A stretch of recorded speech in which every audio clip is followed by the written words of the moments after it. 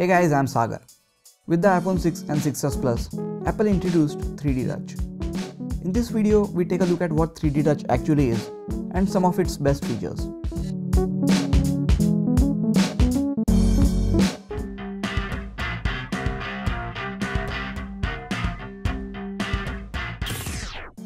According to Apple, 3D Touch is the next generation of multi-touch. Along with the familiar gestures like tapping and swiping on the screen, the new iPhones can now recognize the amount of force we apply on the screen. This allows us to use more gestures like peek and pop, about which we will talk in more detail in just a few moments. But this 3D touch is not like long touch on the screen, which is still present and allows you to do things like rearranging or deleting your apps from the home screen.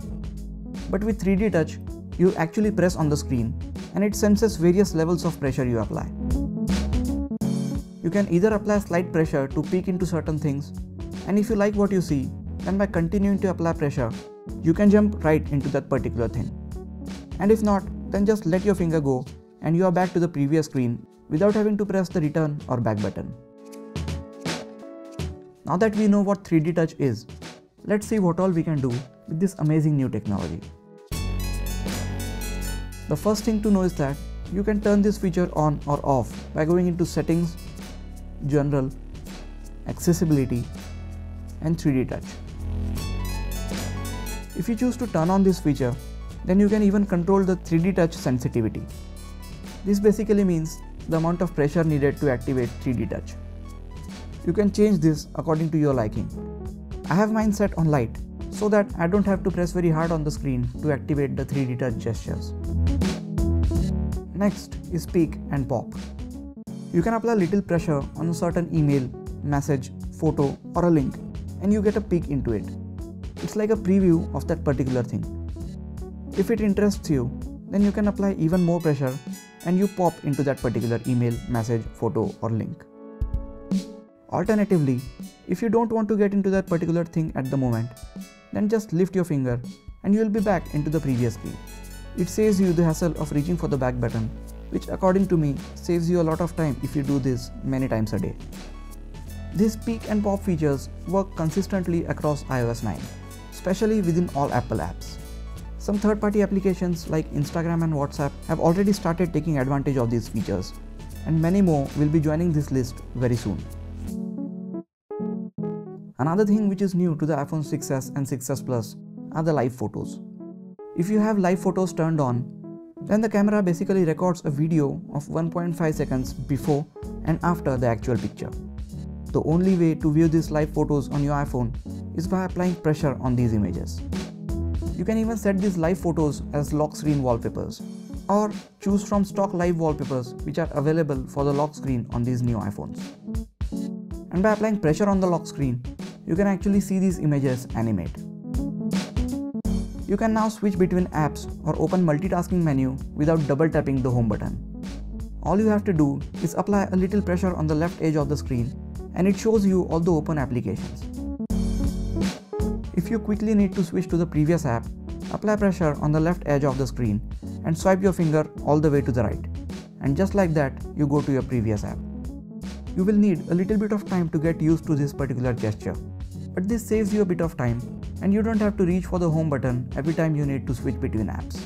This is especially helpful for the iPhone 6s Plus users as it makes navigating through the huge phone a bit easier. 3D Touch works on the home screen, giving you quick actions or shortcuts to the things which you frequently do. Many third-party apps along with Apple's own apps take advantage of this feature. From these shortcuts, you can quickly perform particular tasks. Take Camera app for example. Normally, if you have to take a selfie, you have to open the Camera app, press the camera rotate switch and then take a picture. Or if you need to quickly record a video, you have to open the camera app, then slide to the video or slow-mo tab and then take the video. But with these shortcuts, you just apply a bit of pressure on the camera icon and jump right into the selfie, video or slow-mo mode. Applying pressure on the Photos app gives you option to view the most recent photo or favorite photos. Doing the same on contacts gives you option to create a new contact or view your own information. Many third-party applications like Twitter, Facebook, Instagram, WhatsApp have added support for the 3D Touch quick actions on the home screen. For the apps that do not support this feature, you just get a long haptic feedback which means that the particular app has no support for 3D touch. Another use for 3D touch is inside the camera app. You can press hard on the recent image icon and it shows you bigger preview of that image. You can scrub through all recent images without lifting your finger and continue pressing hard to view a particular image. Or if you are satisfied with the image, then just let your finger loose and you are back to the camera app for taking another picture. The iPhone 6s and 6s Plus have trackpads built into their keyboard. Normally, to go to a particular character or to select a particular word, you have to tap and hold that character, wait for the little magnifier to appear, and then scrub to the character which you want to edit. Now all you have to do is apply some pressure anywhere on the keyboard and the whole keyboard turns into a trackpad, which makes it easier to scrub to a particular character and if you have to select a particular word or a sentence, just continue pressing harder and move your finger across the area which you want to highlight. It's just that simple. While you are in the music app, you can use 3D touch on a particular album or a playlist to view the songs in it. If that album or playlist is the one you want to listen to, then just press harder and it pops on the screen and you can play the songs which you like. I really like the peek feature because you can preview a particular thing and return to the previous screen without having to press the return or back key. Similarly, I like the quick actions on the shortcuts that the camera icon provide on the home screen. The Touch ID on these new iPhones is so fast that we hardly ever see the lock screen unless we press the power button to wake the phone. And hence, we cannot use the small camera icon on the lower right side of the lock screen to launch the camera app. So the quick action menu on the camera app comes in very handy when you want to take a quick photo, selfie or a video.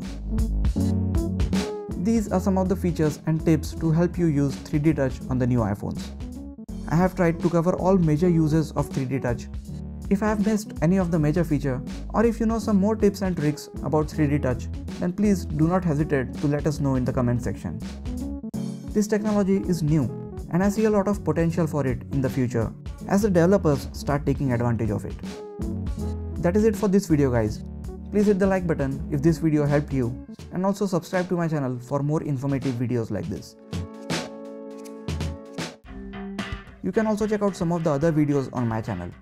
This is Sagar and I'll see you guys in the next video. Take care.